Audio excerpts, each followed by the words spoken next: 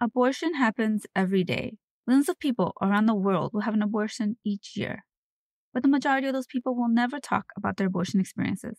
What if millions of people broke their silence and told the truth about their lives and their choices? We also rarely hear from those who work in clinics providing abortion care. What if we understood more about the people who dedicate their lives to that work? This episode of the Abortion Diary is in collaboration with the Abortion Care Network and was recorded at their 2019 annual conference. This interview is part of a series of interviews with abortion care providers that will be posted on the Abortion Diary podcast throughout the year. This is Melissa Madera in Austin, Texas, and you're listening to the Abortion Diary podcast. These are the stories we share. My name is Leah Coplon, and I'm the program director at Maine Family Planning.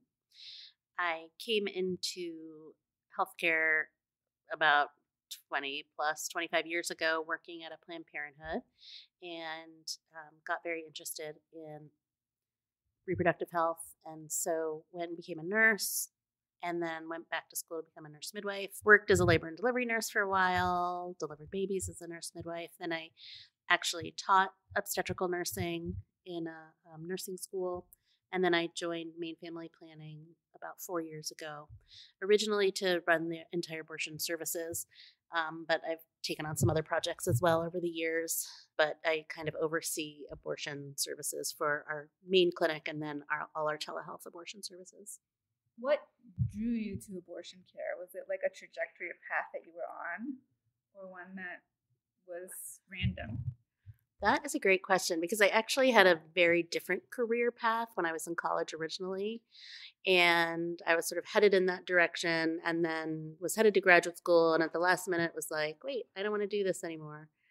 And um, deferred my admissions for graduate school and then had this sort of like moment of like, okay, now I could do absolutely anything I wanted. Like what at the time I was like hostessing at a waffle restaurant. and I was like, I could do anything I want. What's it going to be? And I remember exactly where I was when I just sort of had this moment of like, I really want to work in women's health.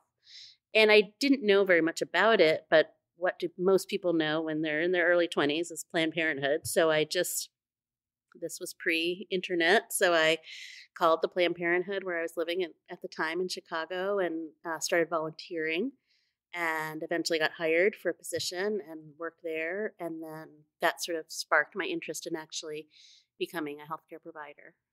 So, um, yeah, so I just kind of all of a sudden knew that's what I wanted to do. And then 25 years later, it's pretty much all I've ever done. What do you love about this work?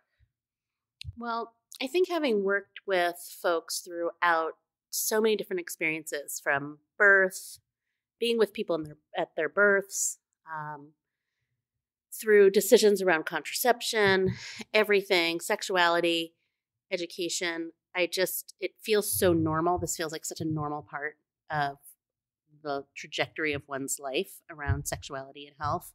Um, it was funny when I first came back to abortion care at this job very early on, I happened to have one of the patients who was somebody whose baby I had delivered. And she looked at me almost like, oh my God, like, did you get fired from your job as a midwife or something? Like, she almost seemed like she couldn't like integrate that I could have chosen this work after being a midwife. And, and I was like, this is all part of life for folks. And this is all part of, you know, this is it's it's all the same to me and just being able to be with people at any of these times and and just kind of be with them during these times that are vulnerable times and challenging times and powerful times and all of those things together. And just being part of that it's like it's kind of really an honor to be part of that just like being at somebody's birth you know feels very much like, wow, I have like the privilege of being there at this very intimate moment and this really incredible moment. And I feel the same way about sitting there and talking to someone who's scared or sad or doesn't know what to expect or feels super empowered and comes in like I'm having an abortion and you know just being with them at this at that time and you know um, being able to just kind of be a guide through that experience. What are you really proud of?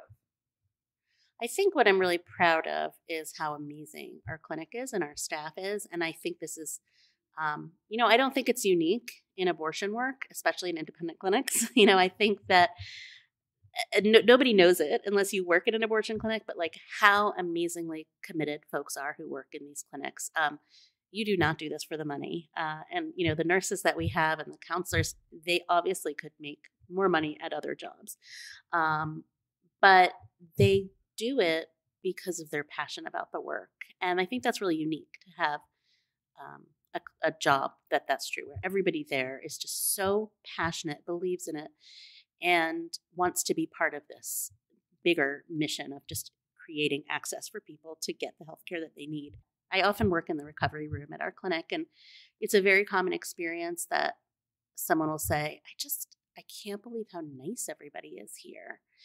And they're really stunned. And I think for a lot of people, it's the best healthcare experience they've ever had. Um, because they're treated with dignity from the moment they walk in, from the person who greets them at the front desk with a big smile and says, Hey, good morning. You're here to check in. And I think they expect to come in and, and be like, So I guess you're here for an abortion. You know, like they expect to come in almost and be shamed or to feel or they're supposed to feel bad or or judged. And i think sometimes just saying hey good morning. How are you doing? You checking in? and and just normalizing it from the beginning. And then as they meet so many different people throughout the day the person who checks them in the person who does you know goes over the informed consent or does their labs the physician the nurse in the room with them the person in the recovery each person just treats them with dignity and respect and since we know that a lot of these folks are already marginalized and already, because we know that abortion is concentrated in folks who tend to be um, lower income, then for them to have that kind of healthcare experience where they are treated with dignity, um, and we see that with the folks who are using opiates or or have other um, challenges where they again have often been met with so much stigma in the healthcare system, and we're just like, hey, you're here for an abortion, great. How can we help you? How can we make your day? Go okay for you. And so I just love that. I love being part of an organization where we are doing amazing work and making a difference in people's lives. What's really hard about the work you do? Um, I mean, I think that a lot of what's hard is actually the external forces around us. Um, the not enough money, the um, you know, we I practice in Maine where we actually have fairly good we're in a fairly good uh, state as far as abortion is concerned but still combating the stigma and having the patient who does drive through the protesters and comes in who's really shaken up and crying and you know just having to deal with all of that is so hard for folks and so i think that that's one thing that's really hard. It's just the generalized stigma and shame. And, you know, there's still people in my life who I don't even tell exactly what I do. You know, I say oh, I work in women's health or, you know, I don't, I don't, I can't necessarily be out about the kind of work I do. And I try more and more to just sort of be, un, as I say, unapologetically pro abortion, which is what I am. But it's sometimes in certain times, it's like that's a harder thing to talk about. So I think that's really hard is just, you know, I wish we could just give everybody everybody who wanted an abortion could get an abortion for free whenever they wanted. Like it just seems so simple. It's normal healthcare, but it's it's hard that that's not the case. So we know that people in the world don't know very much about abortion or about abortion providers, especially independent abortion providers, right? They think Planned Parenthood, but they don't think about indies.